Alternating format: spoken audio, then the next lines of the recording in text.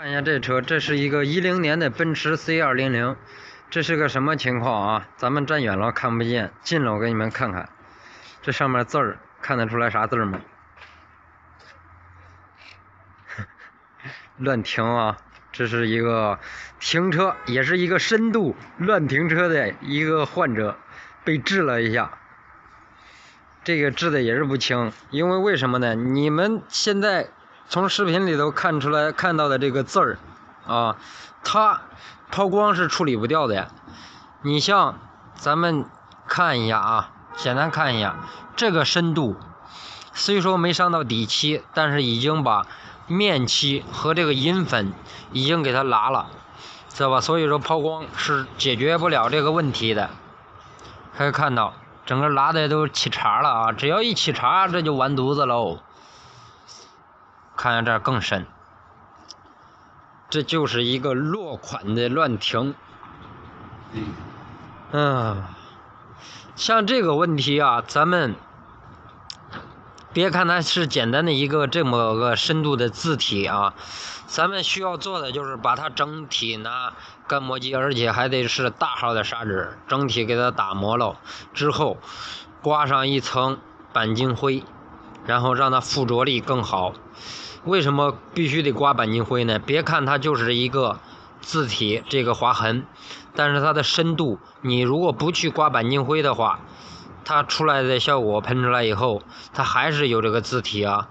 因为这个它并不像别的颜色，纯白的有可能会不太明显，但是这个的白银的必须得刮钣金灰，然后给它打磨平整，然后再喷底漆，喷完底漆再喷面漆。才能把这个字体的划痕给盖住，所以说这个机盖全喷乱停，看你还以后乱不乱停？哎，这一块有个小坑也得一起处理了。反正整机盖喷了，直接拆掉喷，整机盖拆喷，然后就是这让人给踹了一脚，这明显的就是一脚丫子嘛，对不对？整个把这个金线给干进去了，就这么一脚。对不对？